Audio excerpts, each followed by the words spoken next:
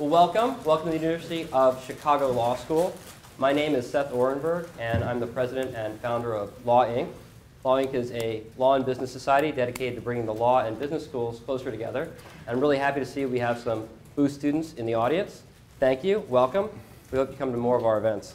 Today's presentation is going to be great. We have a, a panel of experts in lots of different types of technology law here to talk to you today. So I'll introduce them. Uh, from your right to my right, we have Rick Rule. Uh, he's a graduate of the law school, and he's the record holder for the youngest assistant attorney general. Uh, that was for the antitrust division. He's the antitrust counsel, uh, outside counsel for Microsoft, and has worked on many uh, seminal matters, such as the consent decree. And he's a uh, senior partner at Cadwalader, Wickersham and Taft, a prestigious DC law firm. We welcome him to bring his practical experience to the table. Randy Picker is also a graduate of the law school as well as the college. Apparently, he couldn't get enough of University of Chicago and decided to return to become a professor of commercial law. He also wrote a book on game theory, and he helped draft Article 9, uh, the secured transaction section of the Uniform Commercial Code. He teaches antitrust, network industries, and technology policy, in addition to several other courses, and we welcome him to the panel for his broad and deep scholarly experience. Nilay Patel is a graduate of the college and a graduate of Wisconsin law. He uh, practiced copyright for a while and then wised up and hmm. decided to uh, get out of big law and become a technology blogger. He was most recently the managing editor of the popular technology blog Engadget, and now he's working on a new project. It's me. I'm also I'm just here for jokes. These guys are smart. It's a secret project, but we're yeah, hoping well, you know, we're hoping he'll spill the beans today.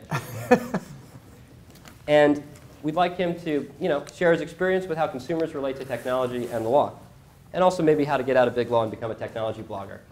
He quit. Desperate. Things happen to you. Rick Karr is our moderator.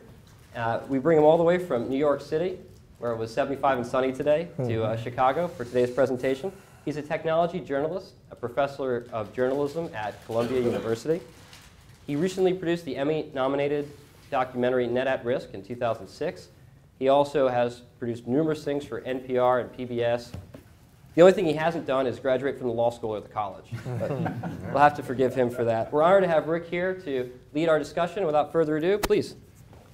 Uh, okay, thanks everybody for showing up. Um, uh, I actually want to start, uh, I think we should start with copyright because that's what we were talking about downstairs. And I'm wondering if uh, are, are, we going through another big wave here? I mean, what's, what's, what, what, what's, what's the lay of the land right now, uh, Nilay? What do you think the lay of the land is copyright-wise right now? Um, I think consumers are so the, the first wave you're talking about is the 90s. It's actually no. I start with Gutenberg. See, that's Gutenberg. where I start. But I don't know where you want to start. The first wave of the digital copyright right. was. Yeah, the, the RIAA sued Gutenberg for yeah, exactly. transferring books. Period. Damn Johannes! Yeah. Uh, Universal Music Verse yeah, exactly. v Gutenberg. Pretty good. Uh, no, so when I was an undergrad here, um, that was when Napster came out, and I think that was very much the first wave. It's okay. Oh my God, I can copy these files between my friends very, very easily.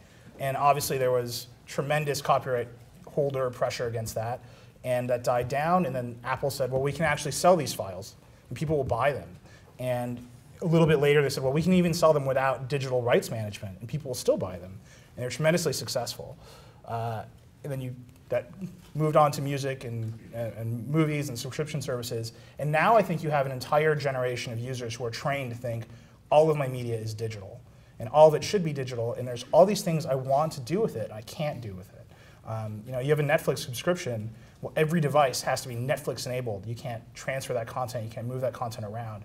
Um, you know, I think it's ridiculous that if you have a DVR, if you record something on your DVR, you know, you have fair use rights to that content. You can transfer it to your iPod, you can put it on your phone, but you have to be at home lucky enough to catch it at the right time, even though most people are paying for cable for that content to come in. I think there's a lot of discussion in the industry. You have companies like Google who put out basically the Google TV, which is a computer that hooks up to your TV, and the networks and the, the content holders who said, we're going to block this product because we don't understand how it fits into our revenue stream. And I think there's just a lot of conflict there about how, who owns the content, what rights are we selling The DVR situation is so interesting, though. So I, I know, you know, I, I go to conferences, I talk to other copyright professors. I think a lot of people think that if we relitigated Sony, not about the VCR, but, but about the DVR, it's not clear how that case would come out. right? Part of the premise of the Sony case was was that there weren't these alternative markets where you could go get the content, right? They weren't selling VCR tapes and the like. So when you recorded something on television, you weren't necessarily substituting out of an alternative market. Now, of course, all of these markets are out there, and so. Um, you know, if we relitigated the DVR case, obviously you'd have to update for who's on the court now. But just just on the integrity of the argument itself, right? It's not it's not I clear what relitigating for who's on the court now is which business is bigger. Well, I don't know. Maybe I'm not that cynical. I mean, so I'm a blogger. Yeah, exactly. you specialize in cynicism. That's all I do. Cynicism and snark all day long. Um, well, no, let me ask you this. I mean, you say there's a market, but is there? I mean, the market for music is iTunes and Amazon. If you know, if I wanted to go and compete with Reckless Records on Milwaukee Avenue, if I had enough capital, I could set up shop next to them. Uh, for sale means I could go and buy all their inventory. And Well, we it. there's a market. I mean, uh, what wasn't the case back, you know, in the days that the VCR case was litigated is I couldn't go get this content in a legitimate way, right? So when we turn, now we'll head inside fair use, right? When you turn to fair use, obviously it, you're a copyright lawyer. I mean, there's it's a four-factor test, and one of the questions is, is well, what does this use do to the market for the work? And so now, I mean, through iTunes and the like, or through Netflix and the like, I can get so much of this content. Well, I mean, but right now you can say, well, there's DVRs. Everybody has one. Right. And the market for the work is almost unaffected. In fact, it's growing, right? Because Well, mm. people are going to Netflix, they're going to Amazon, they're going to But this argument about, about the relationship between the market for the work and its use, I mean, you, you go back and look at, I've, I've looked at the, the migration from sheet music to piano players, right? Uh, I mean, that, that was in some sense, if you ask about the technological migrations in copyright, sheet music was huge at one point right? And then the piano player comes along and the wax cylinder comes along, and you see exactly these same arguments there. And, and so I don't think the structure of the argument has really changed in a century. It's really quite shocking how consistent the argument is. And in some sense, the question is, is do we want to assign the right to the copyright holder as to who gets to make the choice as to whether that argument is right or wrong? Uh, uh, I mean, you- you I'm just a. You're just an antitrust guy, yeah. I will say though, interesting. When I was uh, a student, uh, my third year, I wrote a paper for Posner on before. Uh, Dick Posner at that yeah, point. Dick, Not- yeah, not- not, not, not, not not, his son. Posner, yeah, but exactly. um, uh, but on uh, on fair use and uh, VCRs Did you before the really? kids, but that was uh, it was a long time ago. Um, but What kind of I- grade did you get? Uh, I did pretty. I think I did pretty well. I don't know. Um, but uh, the uh, uh, I guess the one thing I would say is what has happened has pretty much destroyed the music industry, hasn't it? I mean, the pro- part of the problem, and, and you know, is uh, again referring to uh, one of my former professors, who I guess still teaches here, Frank Easterbrook. But Oh, yes. um, but when Easterbrook was in the um, uh, in the Solicitor General's office, there was a debate uh, about, you know, protecting copyright. And Frank's point was, if you don't protect the rights in some way of the artist, then no music will ever be produced. But is, is, Which pro- is is protecting the right of UMG or any of the big record companies actually protecting the rights of the artists? I mean, I think a lot of artists would argue it isn't. And- And the point I'm trying to make is, it may have destroyed the music industry, but has it destroyed the market for music? Right. I mean, there's more music. I get sent more actual music. You know, we do Right. a podcast, we do a show. People are like, look at this music, put it in your show, give me the exposure I want, I'll go on tour. And that's what the artists want to do now because they know that assigning those rights to a label isn't necessarily their path. Well, I mean, it would, it would be an interesting question to see what has happened to the output of music. I think a lot of people, in terms of you know what music is available, uh, sure, there's a, a lot of you know people. There are always going to be artists. I mean, this was part of the point to, to Frank. It's not the case that if you got rid of copyright, there wouldn't be people writing songs, right, Right. or performing music. There's no question about that. But the question is, what happens at the margin if you essentially destroy the rights and destroy the ability of people to, to earn a return? So, I, you know, and and I, I, what I know, what little I know about copyright from uh, back in the day, I do think that uh, you know some of the arguments that are being made about some of these things being fair use probably are wrong because I think they are destroying the you know the market. Well, let me let me ask this, and I'm actually really curious to get Yeah. your answer to this. There's this conflation in copyright law of the content, Yeah. the idea, and the well, the- I guess the idea is a really bad word to use there, but sort of the Yeah, content exactly. and uh, and the physical, tangible copy, right? Yeah. The book is the copy. If the you book mean the is expression. yeah, the ex- well, that's good. The expression and the, and the physical, And- and tangible tangible object. medium, Um, But that has been completely destroyed. And our copyright law regulates copies. It regulates you're going to write this book down again. What's happened is, is, is, is we've got a copyright statute, and it's been premised on this since at least 1909, where there was a match between the rights model and the physical instantiation. Those have separated, right? And, and, and we, we still need to figure out what we think the rights model should be. That's a separate question for Right. business models. I'm not talking about mm-hmm. business models. I'm talking about how do we think we should give you rights But all the business models are built on Exactly. are built on right. Exactly. And And, those, and those have decoupled. But I think they've decoupled Because in of such a- a, technology. violent and, and paradigm shifting way that the consumer no longer understands the business model, right? They look at the market of things they can buy, of content they can buy, I don't know and they say, I think. Can. Right? Well, I do. mean, well, what I They- mean by they that tell is- me very, very But okay, loudly. but what I mean by that is, is, is do they, do they, I mean, you see these surveys, right, which they recognize that if I go into, I don't even know if record stores still exist, right? If I go into a record store and shoplift a CD, they recognize it as a different act than swapping files on a peer-to-peer network, right? They think those are different. The question is, why do they think those are different? Is that the experience of the technology, or is it something else? Well, I mean, I think it, it, it's something else. It's something really tangible. It's that people are used to communicating on the internet, and we've also built a culture on the internet, online, that is almost anarchic and is.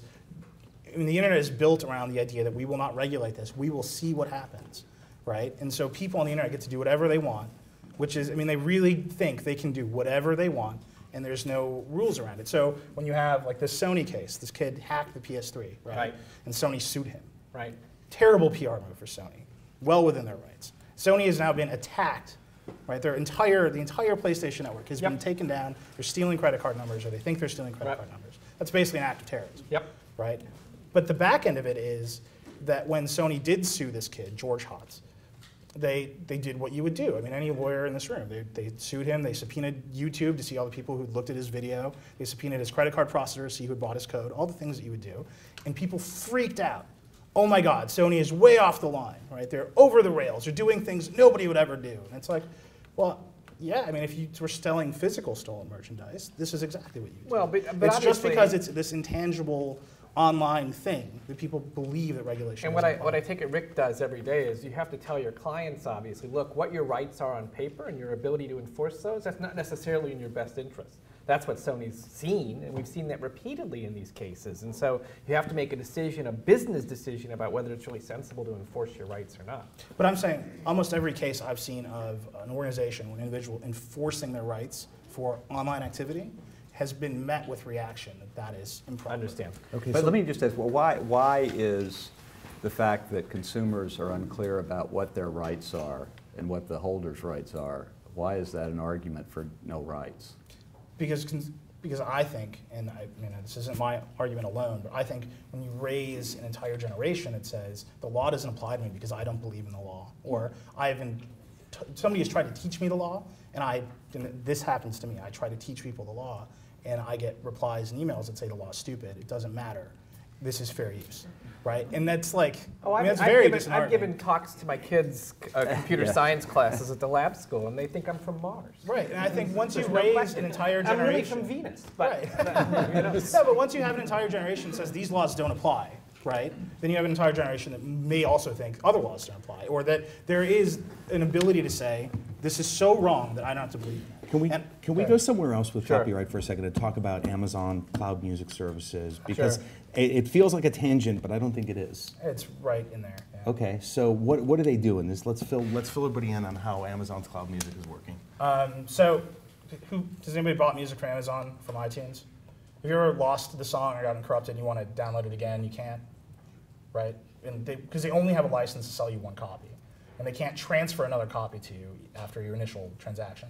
So what Amazon has done is they've given everybody, all their customers, five or 20 gigs of storage, right? And it- when they buy the, the song, they transfer the copy to your storage, which is assigned to you. It's, it's yours. And once it's in your space, you can copy it as many times as you want. It's yours. And you can stream it. They put out an app that lets you stream it from your storage to their, to their app. And so this looks, I think, for all the world like they've developed a new service, when all they've really done is sort of hacked the existing model for the service and said, well, instead of transferring it to your computer, we'll give you some cloud storage, cloud storage, and we'll transfer it to your phone. the labels freaked out, right? Because they don't have the licenses to, to launch that service that looks. But the labels haven't, the labels haven't filed suit yet. They have they you know, they, they put out. This is what they do. They send me press releases that say, Amazon doesn't know what they're doing. We must we must investigate this. And then I have to like sit there and be like, the labels say. So right? do we think, though, that's the thing, the, the, the point that Randy was making about what Rick says to his clients, which is like, somebody is saying to the labels, wait, don't, don't, don't move on this yet, because this is, this is your bread and butter now. You're not selling records at Reckless anymore. Virgin Megastores closed. This is the way you're selling music. I think someone is saying to them, be careful. Yeah, I mean, I think that's why it's rolled out slowly, right? Because in prior situations like this, uh, you know, the Beamit example is the one that comes to mind for me, right? Which was the same kind of. MP3.com. Right, yeah, exactly, which was a music locker in the sky, as it were, right? But so the difference is there was no transaction with MP3.com. No, no, no. I understand. The idea was is I was supposed to be able to basically bring my CDs, rip those CDs, and store them remotely, right? So they were simply providing substitute storage for my local. But you, d- you didn't transfer your bits to them. No. That's the big difference. Well, I- well, tell me. Okay, but but t- you tell me why you think that matters.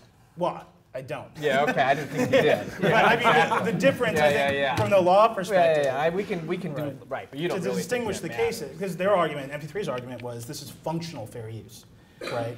Right, I Which is, I mean, at the time, even I read that and I was an undergrad and I thought, well, that's stupid. But think about how you set up this discussion, right? You set up this discussion as, oh, they're sort of protecting you from losing songs, right? I mean, I, MP3, their I mean, I, marketing any, anyone, ha- anyone have any broken CDs at home? I mean, part of that's a decision about how we allocate the risks associated with destruction of the content and the media, right? Well, sure, but I mean, I think that Amazon's trick. They don't give me a free CD when I walk in with my broken CD. You know, when all these digital services launched, I mean, that's, I remember the discussion on iTunes was, well, Amazon can win because all they have to do is sell you the CD and then sell you the digital content because everybody still wants tangible physical media. And that was five years ago, and now nobody wants a CD. I'm must be the only person in the room still buying CDs, but I dutifully get them, I rip them and put them on my iPad. And Well, you know, what's all these alternative markets for digital media, they're all premised, you know, when you buy a CD, it's very simple. You have a CD player and you play it. Right. Digital media is premised on you have a computer, you know how to use it, you've connected to the internet, you're paying the fee, you have a portable device that you understand how to sync to your computer. I mean, I can see why the record labels would be very hesitant to say, well, this is our new business model, selling it to this class of people Right. that understand how all these devices work. Right. But I think it's their future. I mean, I Oh, can't yeah. imagine they should keep printing CDs. No. And then if you, oh, go ahead. No, no. I, uh, uh, uh, I, well, I, my, I'm curious about whether you know DMCA was written in what 90, written in '97, passed in '98, Yeah. sometime in there. I, I- and it strikes me DMCA and um, uh, the Telecom Act, both written in the '90s, both written way before any of this stuff happened. But with the DMCA in particular, I wonder if it's just like, is it time for us to revisit this? So I mean, it's interesting, right? So that, that think of the telecom. So we went from 34 to 96 on that. Mm-hmm. that's that's scary, right? I mean, you're talking about six decades before, y- and and you know, lots of stuff happened in the meantime, right? The DMCA, I, I would say that the people, and I also mean the industry who wrote the DMCA. Got exactly what they wanted, and, and you know think they're probably happy with that statute. And they just want it enforced, right? I mean, right? You know, the cynical thing would be they, they got the statute they bought But- and paid for, and now they just want to see it implemented. But I mean, this goes right back to that PS3 conversation. Sony is enforcing its Ab- absolutely. I agree And the backlash from this tiny vocal, and I mean, I do not agree Right. with their actions. The backlash is killing their business. The cost of enforcing the DMCA. Well, and the ability to organize these, these you know, group consumer responses has really gone up, right? And so I think that means the practical ability of firms like Sony to enforce their rights have dropped, uh, so let me, I mean, right? yeah, but so I mean, but you know, AT and T won a case to the Supreme Court yesterday saying It did. we can we can. But that's we just a can, contracts go to the court talk case, right? Right. But I mean, at the the flip side of that is, or you know, we'll hack your network to bits and shut down your This is the, the arbitration class action case, which I printed but have not yet read. So It is uh, it is a master. Breyer's Dissent is uh, five four. it's pretty amazing. Have you read this? Or not? I haven't read it, but Yeah. Okay. I mean, it's, I'm I so, love- you can tell I'm a huge nerd. I've left the law and I'm still like here. Yeah, That's I, good. I, I love the way every time I come to a law school, it's like five four. It's like a sports score. It's like the Sox, the Sox won yesterday. No overtime. though. Sc- yeah, Right. Scalia scored a big one. Knocked it out of the park. Uh, where does uh, the 800 pound gorilla who we haven't talked about yet, where does Google fit into all this? Google Fit, uh, Google Books. Um, if we're going to talk about uh, copyright at this point, I mean, is that at all a game changer? Is is the Well, technology I'd love to take changer? Google Books, which I've, I think I've written three papers on, a little cottage industry. So, I mean, we don't know where we are, right? In the sense Mm-hmm. that if you've been following the case, um, uh, the, the decision sat there for basically a year. Uh, Judge Chin ruled in February, finally, um, and found that the, the settlement was, was simply too much, too far. Um, the critical issue in Google Books is with regard to so called orphan works. Those are the works where we can't identify who the rights holder is. If you're an academic like me, those are the books you want to see online, right? I'm not interested in bestsellers, I'm interested in the obscure. That's why I'm an academic, right? And so those are the books, you know, uh, I wrote a paper recently on, on razors and blades, the, basically the history thereof. And Google Book Search was a godsend for me. I'm looking at the advertisements that Gillette was running in the 1920s and the 1910s. What a, what a resource.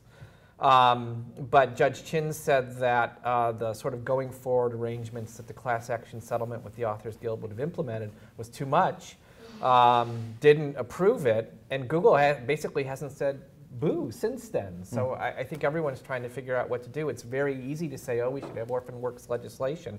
I testified on, on, on the settlement in Congress. Everyone understands that, and still no one does anything. So. Well, I mean, this goes back to I think the the big stakeholders in the Copyright Act. They're I think they're happy with it. I think they're like, well, we legislate copies, and that might not be what people expect us to to regulate, but we've built our business on this model, and so rewriting the act I think is not in their best interest because they have to rethink their businesses when you actually make that decoupling efficient. But the orphan, go ahead. Well, the only thing I was going to say is, is there is a, a little bit of a different perspective. Uh, essentially, you could view it as a clever way for Google to uniquely be able to extract and capture all the value and make it impossible for anybody else to. Well, no, I, I wrote a paper against that, so so I'm with you on that, right? So I said, look, they're creating an orphan works monopolist. Right. They should multiply the number of licenses. That's what I pitched, Uh, right? when, and maybe that would have worked. I will, but if you look at how, I mean, again, I have the perspective of being concerned about their uh, position in search. And the way they were making uh, Orphan Works and the other stuff available to any competitor was essentially controlled by them. Absolutely. And, um, and so I think ultimately that's really what Google wanted to do. I mean, I think Google's interest was probably more in the area of search ultimately. So they probably would have been happy to give multiple licenses to their, uh, to, to folks who wanted to sell orphan work. yeah, yeah, but again, I want to distinguish those two. Right, Multiple right. licenses would have mean the whole kit and caboodle, Right, right, search right, and, right, yeah, yeah. Right, right, right. But, um, uh, but again, I, I think that, you know, Google essentially, one could say, had a view that was not terribly respectful of the rights holders, was willing to, hold, in a wholesale fashion, copy things without necessarily uh, taking care of the uh, rights holders if they got sued. Yeah. And it was, you know, part of the argument Amazon, speaking of Amazon, was making was, hey, look, you know, we copied stuff too, but we actually went out and negotiated the rights, which is inherently more expensive uh, and puts us at a, at a significant disadvantage. Um, and uh, so I, I mean, I, now, the interesting question in, in the Google book settlement is, you know, again, a lot of people lose sight of this. All the judge did was say you can't have a settlement. Right. The case goes on. Absolutely. And um, uh, and there are some kind of interesting questions on fair use and how that applies in uh, in the search context. Now, do you think, I mean, I'm I'm always interested about the relationship between, you know, what do we think we accomplish in antitrust? So, so question we'll talk about in my antitrust class is, is what did the Microsoft case actually do? Right? I mean, so, it, okay. And, and, and, do we, and do we think that the emergence of Google, for example, has anything to do with the, with the, with the final judgment that was put in place? Okay, different question. But, but here I'm curious, do you think Google felt free to be very aggressive about copyright because they weren't shackled by, by you know, government scrutiny in the way that I I point at Microsoft and point at you, but would, Microsoft, would Microsoft have been more aggressive over this dimension if they hadn't gone through? I don't. I, I. I mean, you know, who knows? But Yeah. I don't think Microsoft would have. I think that part of, again, uh, I think Nilay said they're the most interesting company. Yeah. And, and part of the thing that is interesting about Google is um, they perhaps are guilty of what Microsoft used to be accused of, and that is drinking the Kool-Aid. I mean, they kind of believe in their shtick. And, um, and they kind of believe, I, I think there's an argument that they believe that what they're doing is right. They believe Oh, they that, it's, that it's Yeah. very good for They do. everything to be in the Google universe, Yeah. for them to see everything, to control everything. They'll give people access to it. And again, there's sort of that pernicious, you know, their product is really you and me because they're basically taking us and selling us. But, but I think they, they um, uh, uh, that is their product. You know, it's but, right. uh, but, but they, uh, you know, they do believe, I think, that it can't be bad that they have all this information. They're going to make it available to everybody else, but they lose sight of the fact that they're earning, which, you know, I mean, money's fine, but it's $25 billion or so It's ninety-seven every percent year. of the revenue Yeah, is yeah, ads, right? Oh, Well, yeah. You know, I was, we were talking about In the Plex earlier, which I think really interesting book. It's sort of the, the Google biography, deep access, and there's this whole chapter on when they first put up Google and they're building the algorithm, and they're like, man, this is amazing. I can type in what movie, what time does this movie start, and we'll find it for you. And it's like, that's great. You've built a great search engine, but it's actually the data is what's important. It's, it's you're the conduit to whoever else figured out what time the movie started. Right. Like you didn't you didn't figure that out, and I think that's kind of the Google is they've decided search is the vector that makes information important, not necessarily the information itself. And I think with books, it's I mean, do you move that to the state? Do you say, well, Orphan Works, we'll just give it to the Library of Congress. We'll let Google index it because they're really good at indexing, and we'll we'll let the government figure out what to do with Orphan Works. I mean, is that the sort of legislation that Well, we my- is necessary? we, we don't, I we, don't mean- want, we don't want a monopoly. I want to let everyone use it. And, and you may want to let everybody use it, but here, here look, the problem, you could- the I'm problem saying, with you the problem with Google is, I mean, you know, ultimately a decision like that, do you really want it to be decided in the context of litigation and one company come out and become But, the arbiter, but, which but is as to a some extent where lawyer, the- you have to admire what they did there. Oh, I, I mean, well, but, Yeah. but what, you, what you have Was to admire, look, clever. no, what was very clever Right, was the way they used the class action Yeah, process. I, I look, I, so I the copyright system but they lost on requires it. They did lose consent, on and that. they tried to use the class action sys- system to flip Right, that. no, I- that was clever. That was clever. But right? I mean, but Google's Okay. entire strategy when it comes to IP is almost built on we'll just do it, and then we'll go to court and say these are all the arguments for why we should have done it. I mean, it's almost MP3.com kind of writ large with you know thirty billion dollars You of revenue every quarter. Wow. Well, I mean, they, their, their whole model is built on getting access to the data. You're right. Right. It's generally not the data that they've created, which is why people who create, you know, things like news and everything else get very upset and nervous about Google. Um, about getting it and getting it at, at as low cost as they can. And then, to some extent, maintaining control over it because you can look at different areas where they, once they get access to the information, they tend to be far less open in giving other people access to it. Well, I mean, the, YouTube the, being a- is a that was it. That's example. exactly where I was going. I mean, Uh, YouTube is. I think Viacom can throw darts at YouTube all day and night, and that that engine is going to keep turning, and you know they're never going to be able to pull every song off of YouTube that infringes. You- Google can build whatever algorithm they want. But the interesting thing is that, I mean, like with YouTube and with other things, I mean, they, they, once they have control of it, notwithstanding before they own it, their general mantra is it should be open to everybody to crawl and index. Once they own it, it's pretty much closed to everybody but them to crawl and index. So they, you know, again, it's kind of like a black hole. But Things so, but so, so Rick talked about the, the 96 Telecommunications Act. So w- one of the key features there, and, and the one that eventually goes to the Supreme Court, you know, and, and the FCC figures out the rules, is about the degree of sharing and interconnection. Mm-hmm. Would you, would you, would you like that kind of regime vis-a-vis YouTube? Uh, I mean, I'm not a big, uh, I'm not a big uh, fan Search of regu- fan of regulation. Right. Um, Well, you're a Chicago guy. How could Right, you? I, I couldn't. I, Guys from the college, I'm less sure. Guys from the law school, I know where we are, right? Please But, but, but, but, I will say, I, I am a big believer in litigation. And uh, Most lawyers are, okay, yeah. so, you know, I think we can deal with the problem. Um, I, I want to turn completely at this point. So we've, I don't think we've exhausted copyright, but I think that uh, a lot of the interest in this uh, panel may have been more about sort of the mobile device market and stuff like that. Well, there's a there's a way I want to get to it, which is plays right off of what you guys just said. It's it's the Telecom Act. You just made a direct sort of connection between how we regulate telecommunications and how we regulate search, right? Well, I And teach, I teach a whole course, the, my network industries course, where the heart of that course is for, is we, and we start with the telegraph and move forward, is about basically interconnection rules. Okay. Right, so that's great, but I mean, from my perspective now, and I think from a lot of my readers' perspectives, there is the access layer, which stops, and then there is the service and content layer, which is a thriving industry, right? And I, I think they would see YouTube and Google and whoever else is living in that content layer divorced from the access layer. So I don't know why it would be appropriate to regulate API access to search in the Telecom Act.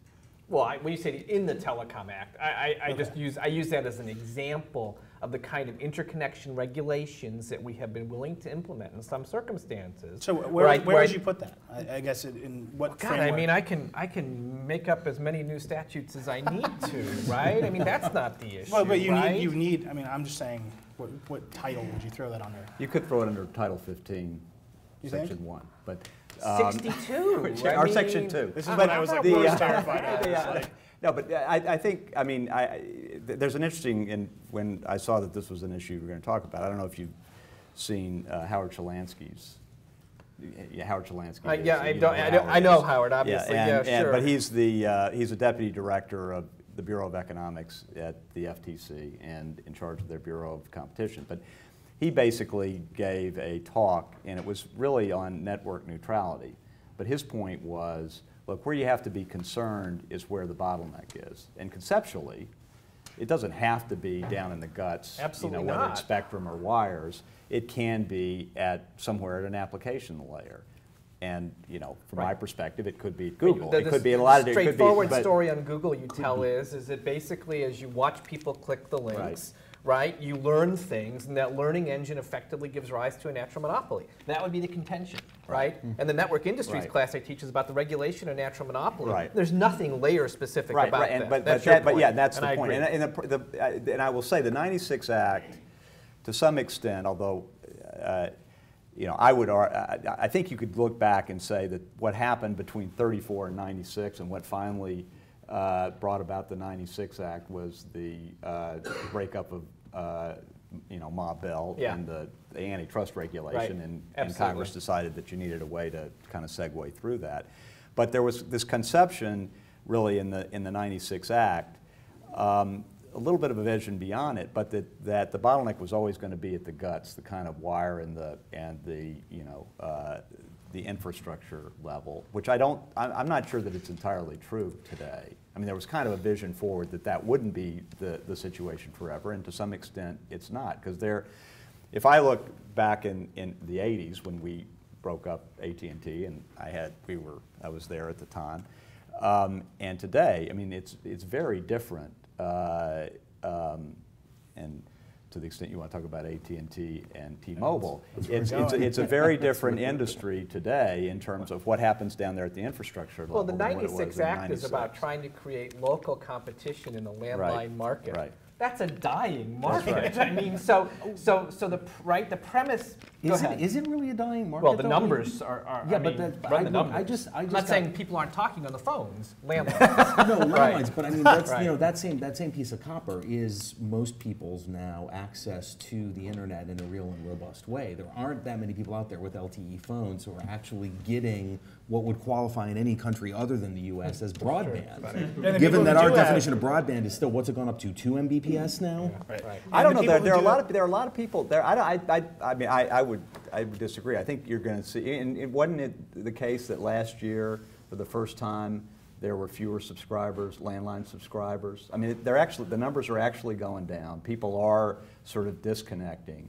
I know where I live, there are. I've got the copper wire. I've got, in theory, a cable. That I've also got fiber. But to what, the what I, now. let me let me just say, I, I just got back. The num, if you look at the UK, where they've unbundled the local loops, Mm-hmm. that dynamic is not playing out because they have robust competition over those local loops now. Speeds over the past ten years, services is improved by an order of magnitude. Prices have come down by an order of magnitude. There's still a very robust market on that copper. Right, I took your point to be that even if we, what we think of as a local telecommunications market for voice calls is dying. Right. Your point was, we still maybe only have three wires in the ground, and that's the issue we need Yes. to talk to. Uh, Yes. Understood. Right, and I, Understood. you know, when you have right now, you know, the biggest landline providers are AT&T and Verizon, who also happen to be the biggest wireless providers. And you could say, well, LTE should be the competition for your local service. You know, And the Verizon, FCC does say that. it should be, but Verizon, AT&T, they cap your LTE service. So uh, I have friends in New York who have terrible Time Warner connections, right? They're really slow. I have a friend in New York. Yeah, exactly. And I would, you know, my instinct here would be like, well, just buy an LTE Wi-Fi device, put it in your house. You'll get 20 megs down or whatever, but you can't because it's capped at, at five gigabytes of, sto- of bandwidth per month, right? Right. And that's ridiculous. That means it functionally is no longer a competition for your wireline service. And that's, you know, that's Verizon, I think, saying, well, we want you to get FiOS. You know, we AT&T saying we want you to get UVerse instead of buy this one piece of access that can deliver every type of content that you probably want. And I think that's really that when I make the distinction between layers, it's the service layer has almost become a utility, and it's the content layer that is the market. And I think there is not robust competition at the service layer. I don't think AT&T and Verizon, their plans are within five dollars of each other, and the pricing pressure from T-Mobile, which is much cheaper, has not moved those plans significantly in forever. And, But the solution to this is to roll out that 500 megahertz of spectrum that the FCC keeps telling us they're going to get for us, right? And why aren't we getting it? Why isn't it happening? Well, because we know that there's, a, I mean, the, the heart of that's going to come from the TV broadcasters, and there's obviously Wasn't that a, 700 megahertz a, a big fight about that. I'm sorry. That, isn't that, that's the seven, I mean, they sold it to Verizon. Well, They but, sold but, the other they- chunk of it but the national broadband plan, make of it what you will, obviously contemplates rolling out an enormous chunk of spectrum for these broadband services. But a lot of that's going to have to come from TV broadcasters who think they're entitled to it, Well, right? so there, I mean, that's the spectrum crunch argument. Yeah, yeah, yeah. The big, you know, AT&T, but we don't want more wires in the ground, really. We No, want we just want more radiation through our bodies. exactly, as much as possible. I'm glowing on the inside, glowing with data. Um, uh, well, let me, you know, the flip side, and this is the argument I've heard You're against more spectrum? No, I'm not against Yeah, more okay. spectrum. But the argument, and I, I feel compelled to present it, is that you look at AT&T. They want to buy T-Mobile and take their spectrum and do whatever they want to do with it. And they have millions upon millions of customers who are still on 2G devices, these old edge devices. And I think what probably costs them less than $39 billion, what uh, they're going to spend on T-Mobile, to say everybody gets a new phone and it's now 3G compatible and we can repurpose this old spectrum. But that argument seems to have been tossed away in the wash. I mean, there is a certain amount of spectrum inefficiency that we have. So what did you get out of a 361-page filing we made last week? 381. 81 Uh, pages. I have not read it yet, so It I- is, uh, it is a delight, which I encourage none of you to they read. filed this a week ago today. a week ago today. Um, so you know, it's it's an antitrust argument, right? I mean, we're basically saying we'll buy T-Mobile and the market will still be competitive. It's the FCC version of an antitrust. yeah, exactly. Which is not exactly an antitrust. Well, I mean, they're- the FCC is very concerned about competition in wireless, right?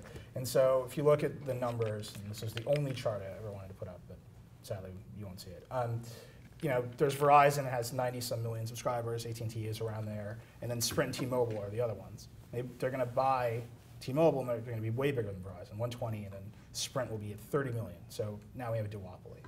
And AT&T's argument is, well, T-Mobile sucks and they're not competitive with us now. So it doesn't matter if we buy them because Cincinnati Bell is more competitive in southwestern Ohio than T-Mobile, and it is 381 pages of this. I'm not even kidding. It is like put down after put down of T-Mobile. It is like I was reading. I was like, we have to write about this because it's hilarious. This, this, com- this, this company is so terrible that we have to spend billions of Yeah, dollars 30, to this, buy this it. is this is 39 billion dollars. Well, that's, you know, it- that could be right, just so we're clear, And, right? and it's true. T-Mobile is a f- you know they're a failing company, and Right.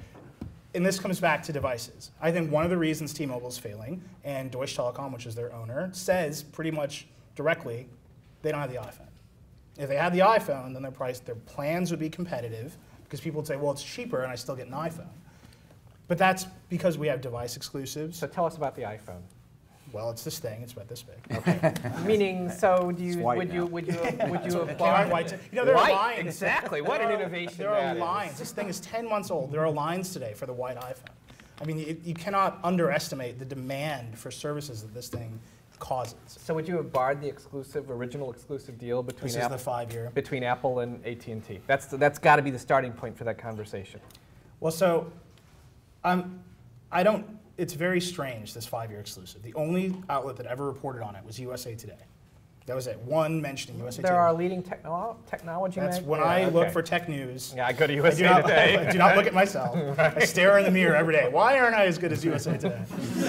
Uh, uh, no, so the U.S. one mention of this exclusive when the first iPhone came out, in 2007, uh, and it was re-reported as fact, which is insane. Nobody ever confirmed it. And then there's the antitrust in California over the iPhone right now, saying this exclusive harms consumers. And Apple's lawyers point to the USA Today article saying it was disclosed. They don't confirm that there is an exclusive. They say if there was one, Let's, it was let's, disclosed. let's assume there was. Well, so that's it's weird to me because the at the end of the your two-year contract, you still have an iPhone, right? The, the five-year exclusive is I hate AT&T after two years. I want to buy a new iPhone and go to another carrier. This, this guy who's never built a telephone comes to this company and says, I, I, I've got an idea. Oh, it's going to involve lots of joint investments. Do you know? So here's Right. what Apple meetings. No, yes. Every Apple meeting I've ever heard of has gone like this. They walk into the room, they sit down, and say, "We might do X. Would you be interested?" And they, they're like, "Yeah, you're Apple." And they're like, "All right, we'll send you a contract when we announce it after we're done." And that's like pretty much it. They don't tell you what they're going to do. They don't tell. you. I mean, this is Apple. They're the most secretive company in the industry. Whereas Microsoft is like, everybody, check out what we're going to do. Please be interested in this.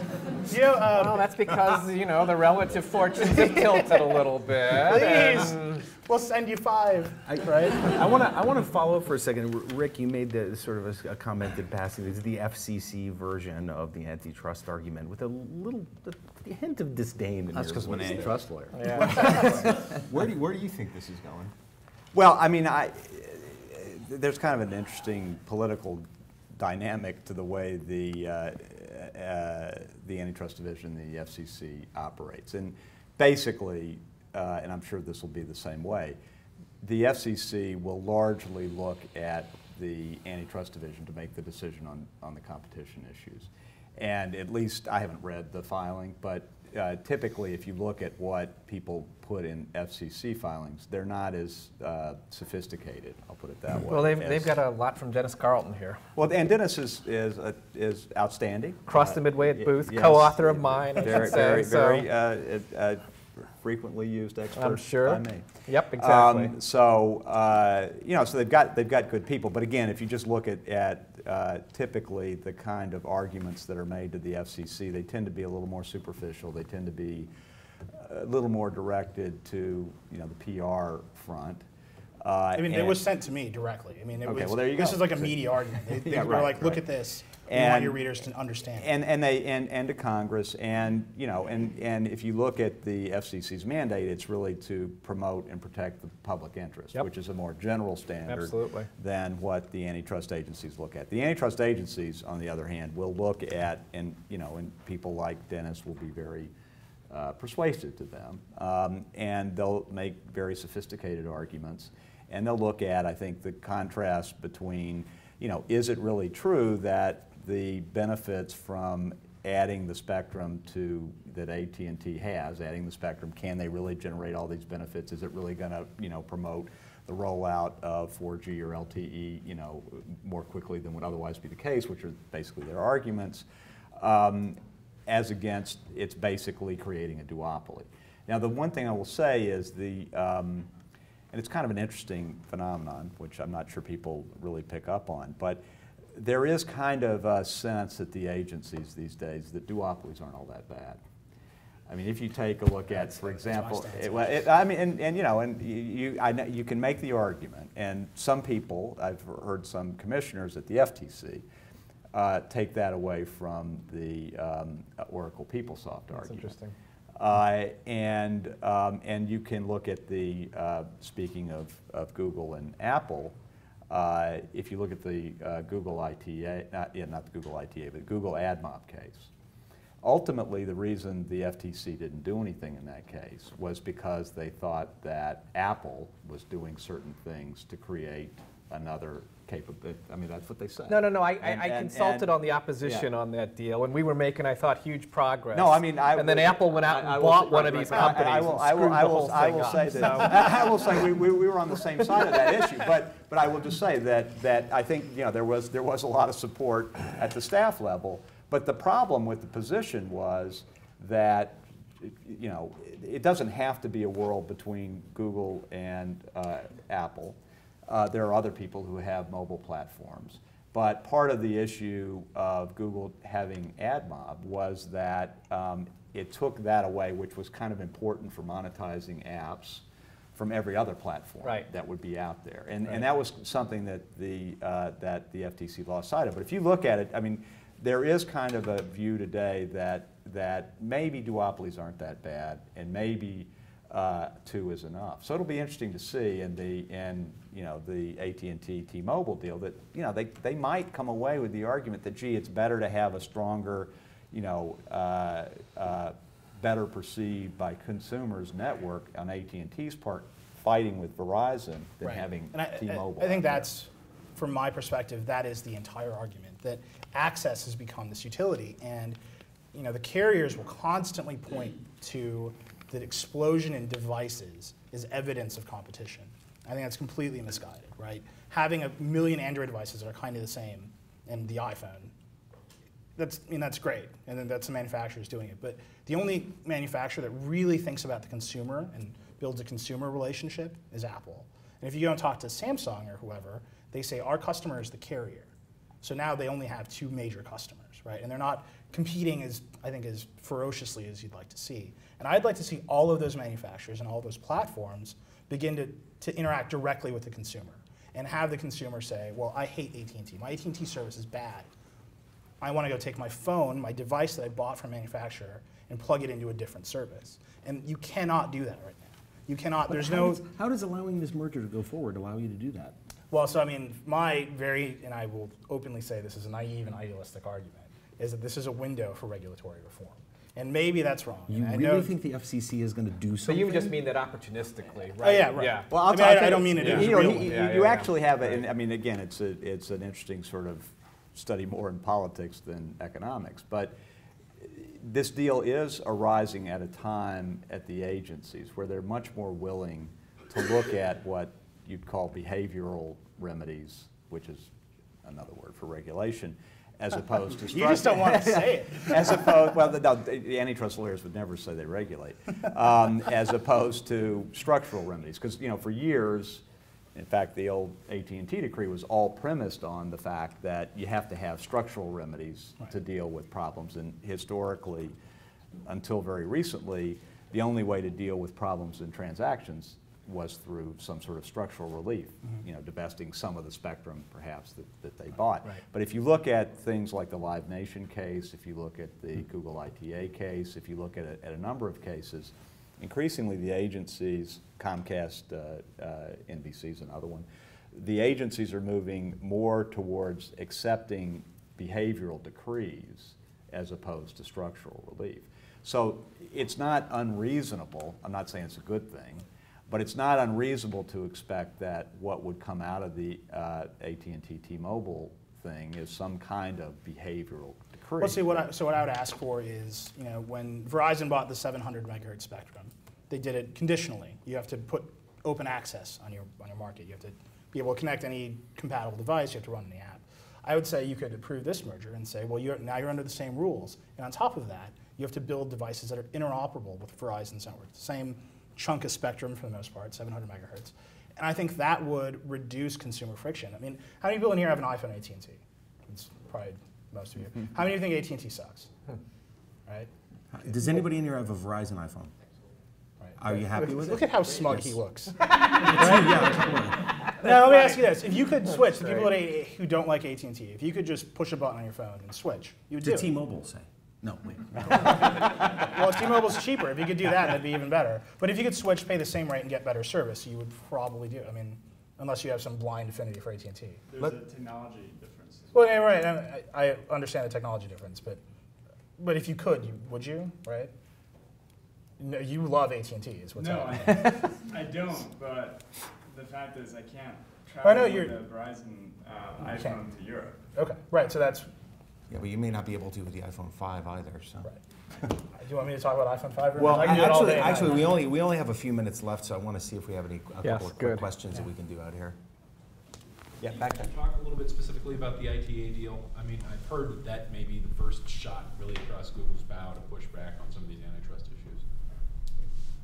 Two shots, I think. I mean, in the sense, no, in the sense of I think the Google Buzz thing's huge. So, I, but talk about Google ITA. Now, I think, I think that uh, there is a view that that was what uh, the government was doing.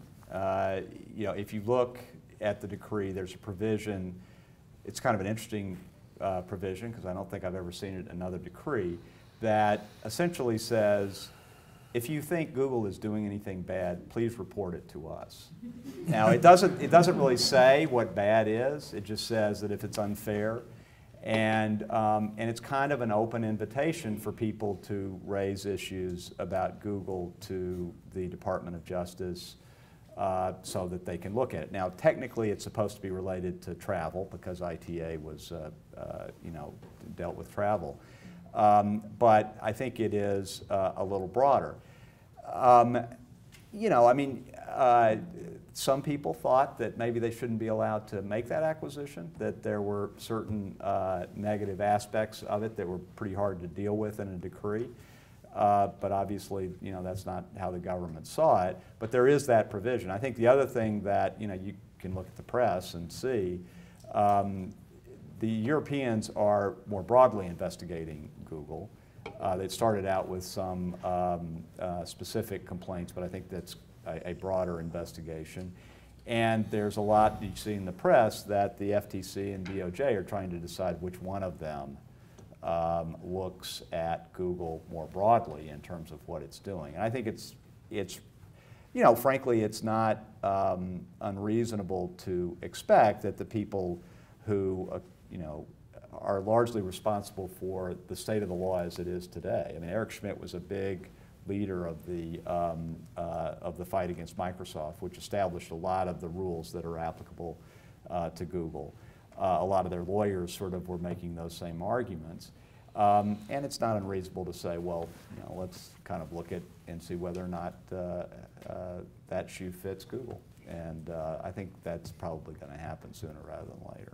I mean, the Google Buzz settlement puts in place a 20-year investigatory structure over privacy with the FTC. That's remarkable, right? So, so uh, the way in which those together, you know, I think change the legal landscape for Google is pretty substantial. I think Google, I mean, Google is definitely, uh, there's a lot of focus on them in Congress, there's a lot of focus elsewhere, and there are issues. There are people, like some of my clients, uh, other than Microsoft, that are suing them.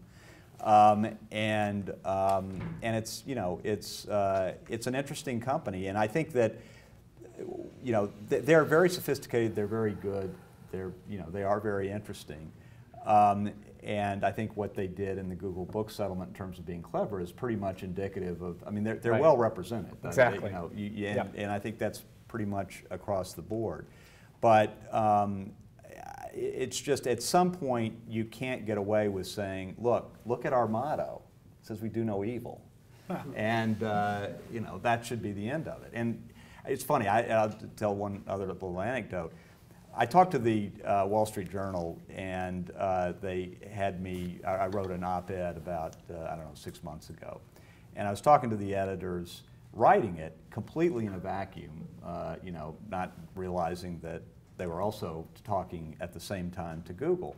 And the premise of my of what I said was, look, you know, just saying trust us is not good enough. You have to actually, you know, there are things that are out there that suggest that maybe they are violating the law.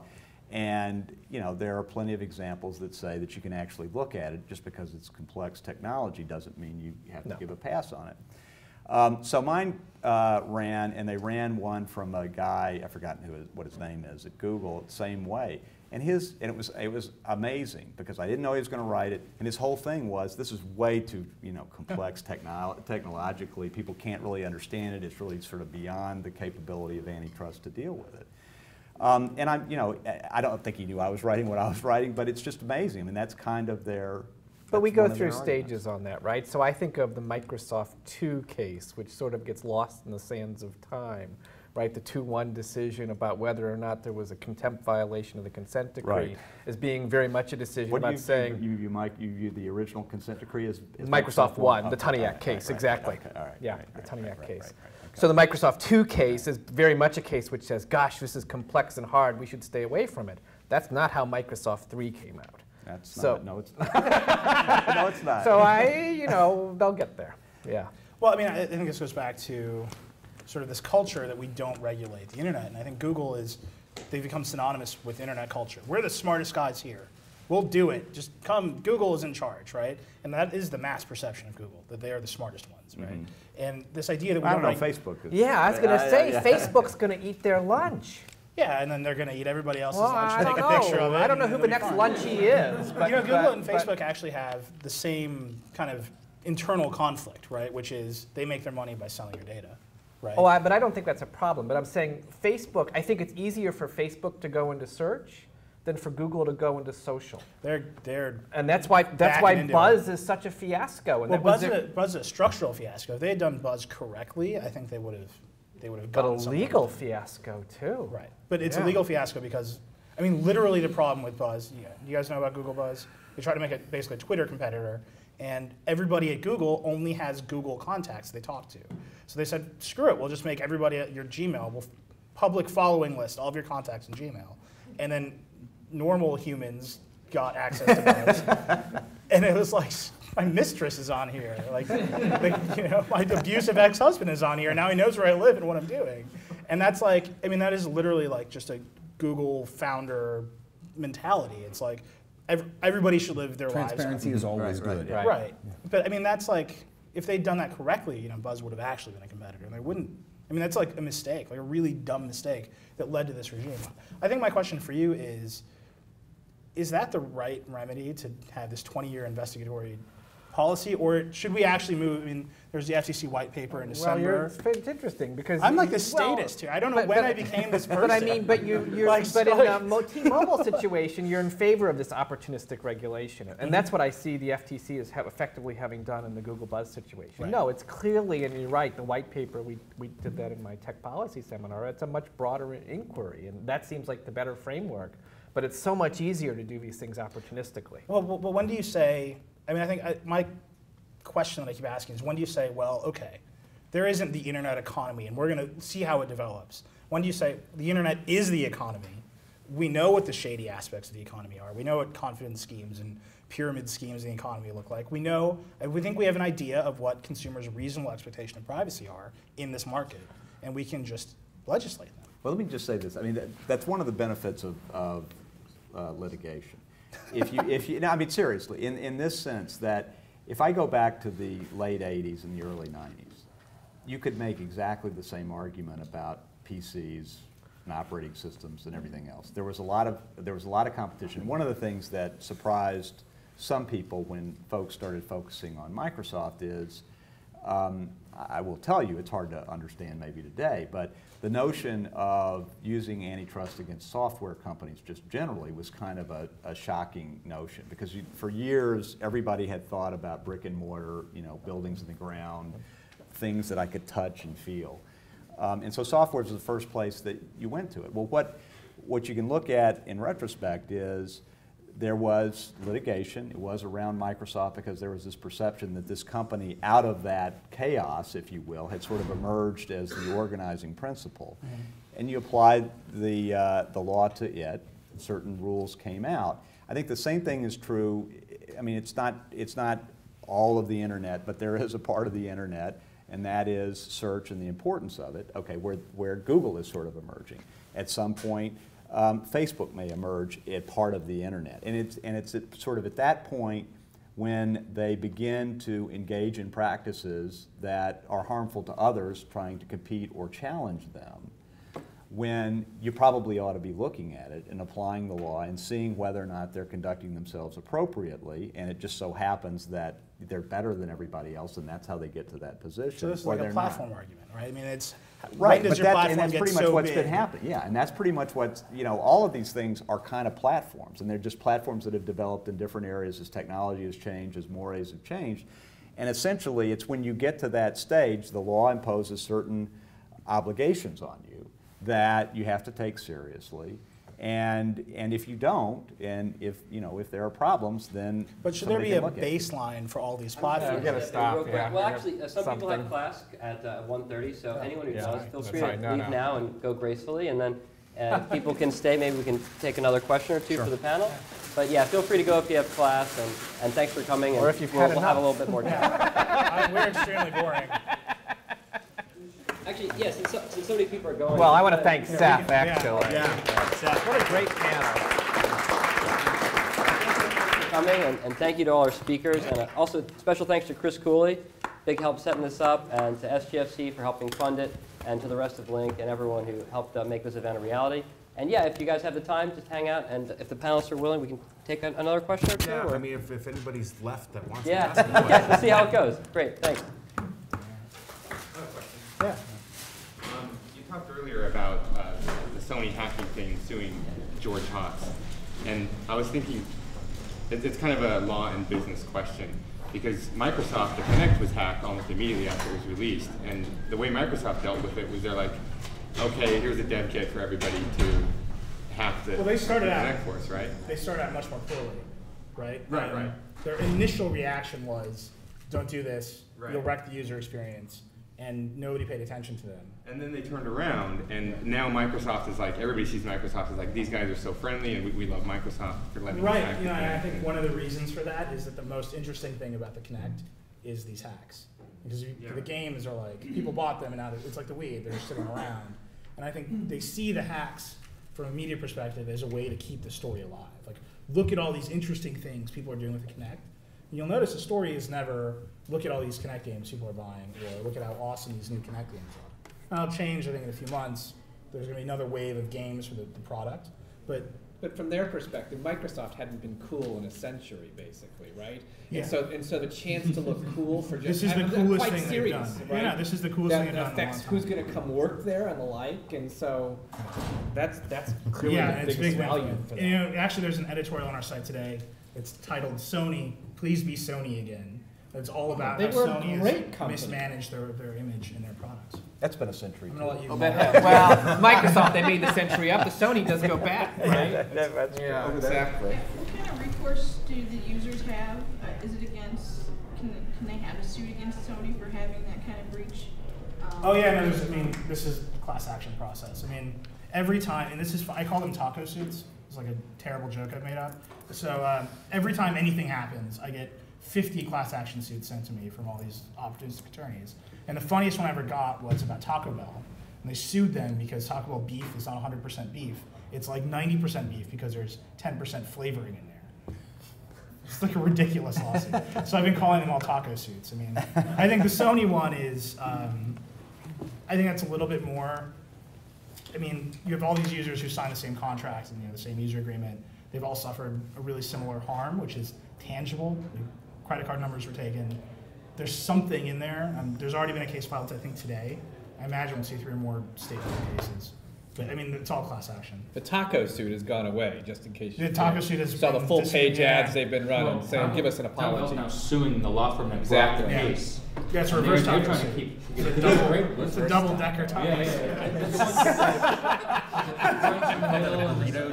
Yeah. Uh, you got a follow-up on that? Yeah, and also, um, recently, like for the new Mortal Kombat game, um, they've separated the online content from the tangible disc. Like, um, if they try to resell it through like GameStop or second user. Right, and you need the code, you have to rebuy the Yeah, code. so, um, do you see any kind of litigation on that of separating between like a first purchaser? I mean, this is a this is a first sale question, right? I mean, and they're they're telling you that your first sale right is only the physical thing and not this licensed content that's separate. And that's Quite plausible. right. And I, yeah, You should read the Blizzard World of Warcraft cases. Yeah. So. I mean, I, I mean, this is like the, the whole you can't compete with reckless records argument, right? There's the way I would start to compete with reckless records is you would buy an inventory of content and set up a store and sell it, right? And you can't do that online, right? You, getting that inventory is really hard.